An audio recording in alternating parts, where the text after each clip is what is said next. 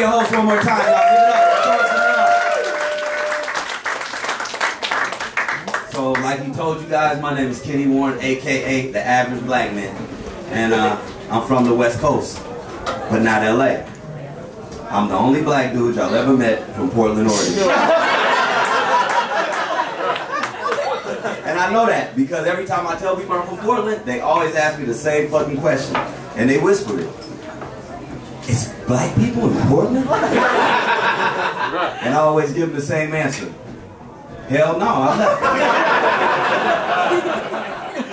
and Portland is one of those places that's 2% black. Kind of like this room, so I feel right at home right now. This is like a walk down my block right here. This is very, very familiar. Snapple fact about Portland, it rains 200 times a year. So people are real depressed. A lot of motherfuckers commit suicide. I was talking to a comedian from Seattle, Washington, same area. He told me the second open mic he ever went to, the comedian before him went on stage and blew his brains out. So I was like, well shit, how the fuck you follow and act like that? I'm like, that guy killed. And I know that shit was dark. I know it was. But so am I, y'all. So come on, take this trip. Let's. Let's loosen the fuck up. So I live in the Bronx. Two things about the Bronx. Everybody in the Bronx has dogs. Nobody in the Bronx has bags to pick up dog shit. So it's like hopscotch every day. When you're hopscotch every day. Every day. And I worked today and I caught the train down and let me tell y'all something. The talent on the train is still amazing. I know y'all familiar with the kids selling fruit snacks but not for no basketball team, right? and I know y'all familiar with the dudes flipping around the poles almost kicking you in the face too, right? Have you seen the blind magician yet?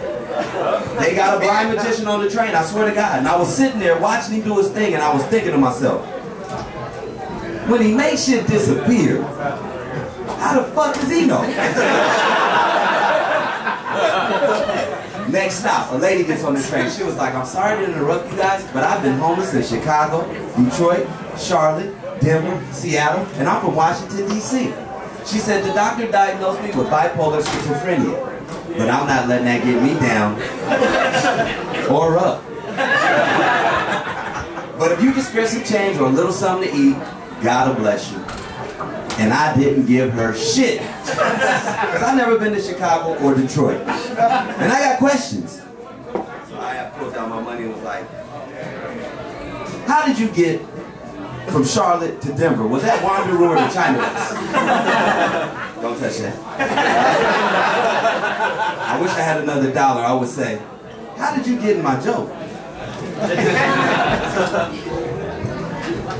so I'm a single dad, y'all. I said I'm a single fucking dad. I got two boys. They'll be 25 and 20 this year. And I know what y'all thinking. Black don't crack. Did this motherfucker start having kids in the seventh grade? No, I'm just black. And, uh, I've been going green the last 25 years, Heineken and weed, so. Uh, the whole process of raising the kids was a beautiful thing, I will say that. But now that they're grown, I can honestly look back and say, I hate kids. They lie when you want them to tell the truth, they tell the truth when you want them to lie, and timeout does not work. If you want your kid to be successful, you gotta whoop your kid's ass. If you don't whoop your kid's ass, they're gonna end up over on St. Mark's selling art. This is real shit right now, y'all. This is from the heart. Because I ruled my household with a heavy hand. In my household, a choke was just a hug with my hand. and because of that, I got my oldest boy to college. He was president of the Black Engineers Association at Oregon State. Or as I like to call him, my 401k plan. and he changed his major his last year to bioenergy. And I'm gonna be honest with y'all, I don't know what the fuck that is, but I know we about to be rich. I can tell. Shit is only getting better. But you can't have just one kid. You gotta have at least two of them because one of them might be fucked up. You know what I mean? that jail kids, you know that throwaway that take that, take that, take that, take that. Because my other son, I call him Shaggy, because every time something comes up broken or missing in the crib, he says, it wasn't me. we got white folks listening to hip hop in here. Hey. So crazy, man. But my kid, you know, my, my, my youngest kid, uh, he's not all, he's not a bad kid, you know, he, uh, you know, he's not all bad. Uh, he started college uh, this past fall. He has a job, but sometimes, sometimes he backslides with his chores, and when he does that, he'll hit me up for a haircut, and I'll put him off. So recently, this just happened. He was like, "Yo, Dad, I gotta come see you for a haircut. I can't be around here looking stupid." So I was like, "Come to the barbershop because I want to see how stupid he looked." And he sat in my chair, took off his hat, and I was like, "What the fuck happened to your hair, son?" He was like, "I cut it myself." I said, "Well, what? You don't have no clippers?" He said, "I used the ones in the bathroom." I was like, the black ones or the gray ones? He said the gray ones. I was like, damn, son, those are the clippers I used to cut my balls here with. And his lips started quivering. And I was like, oh, you cut your mustache too, huh? He was like, nah, nah, I said, stop lying, your mustache never looked better. I was like, this is a prime example for you to learn from. Don't fuck with other people's shit without asking because you ended up fucking up your hair and you sex played yourself at the same damn time. Now look at you. You are literally a dickhead. Sometimes I think about having more kids, but then I think about the silver patch that goes all the way down to my pubes. And then I think about the movie Benjamin Button. then I just go watch porn instead. Oh. so crazy. I'm looking around this room right now and I see a lot of millennials in here. You know why? Because I see hope in y'all's eyes. Futures and all that. And I'm a Gen X dude. Like I said, I'm a barber by trade, so I cut a lot of millennials here. So I fuck with y'all a little bit. I just don't understand y'all's appetite. You can't eat nothing. No MSG, no GMOs, no lactose. And I'm a milk connoisseur. I love all the milks. 2% milk, fat-free milk, whole milk. And it's one milk they should be selling in stores and it's easy to market. And that's breast milk. Think about it. You can put it in titty nipple shaped bottles. All the guys are gonna be in that part of the store trying to decide if they want a gallon or a pint. You know what I'm saying? What size titty do you like? You know? Don't answer, you buy your girl, don't answer. then you can name the milk after women with good breasts, like Sofia Vergara, whole titty milk. or maybe some Cameron Diaz, 2% titty milk. You know, she got the little ones, you know? And this the unicorn right here. How about some Serena Williams? Chocolate flavored muscle milk. Can't find that shit everywhere. And I'm not an ageist. So how about some Betty White? Powdered titty milk. You can just mix that in your coffee grounds and snort it, you know? No liquid needed. And it was gay pride a few months ago, so we got to touch every demographic. So how about some Ellen DeGeneres? Homogenized titty milk. or maybe some Rashida Jones half and half. I'm just throwing shit out there. then all you bright-eyed millennials, y'all could just drink almond milk. But just know that almond milk ain't shit except for the milk that comes from crazy bitches' titties. Y'all know almonds are nuts. A slow burn for that ass, right? I see a future though where you can go to a restaurant with a breast-free zone, order a coffee, cut out the middleman, no carton, and get your milk straight, titty to table. Just titty to table. It's organic. Breast milk dispensaries where you can get exclusive. and get left breast milk for emotional balance and intelligence. Right breast milk for musical comprehension and athleticism.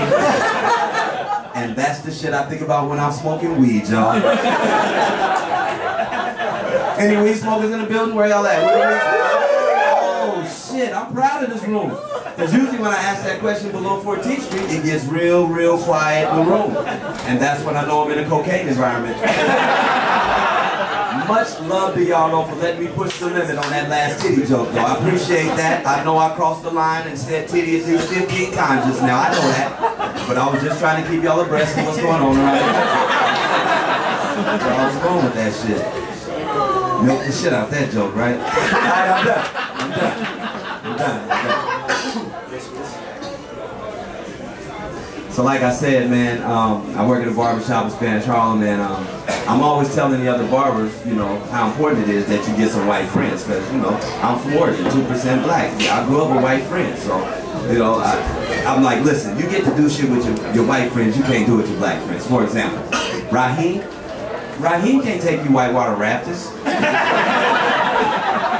know Raheem can't swim.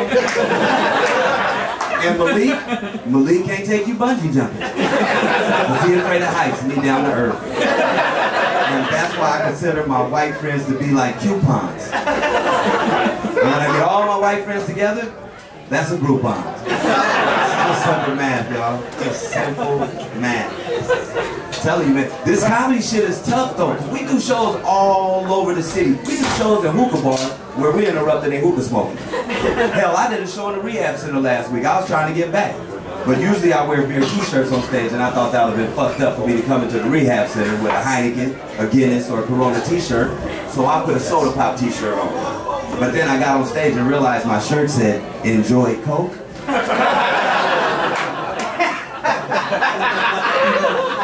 Still sending them fucked up messages. So crazy. 2020 is coming fast, y'all, and they're about to put Harriet Tubman on a $20 bill. Fucking amazing, right? But let me tell you something. I'm torn, y'all. I'm torn because I feel like it's way more logical to put Harriet Tubman on a $20 Metro card. The subway ain't nothing but the Underground Railroad anyway.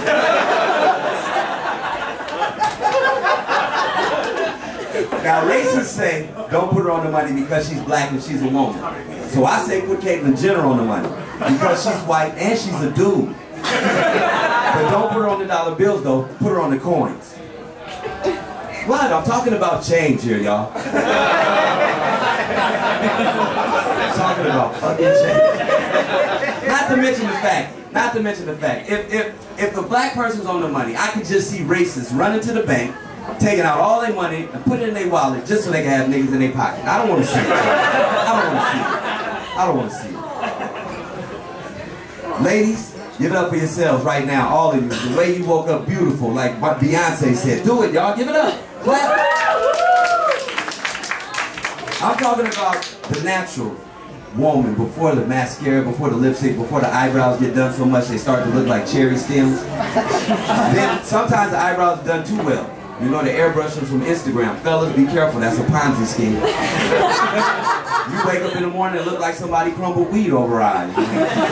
then women is going to third world countries and getting body augmentations and getting all kind of substances like asbestos and concrete, putting their ass in titties and getting sick in the operation and wondering why. So I'm gonna give you ladies this warning, okay? If you go to a third world country and they put cement in your butt implant and you get sick, that's your ass fault.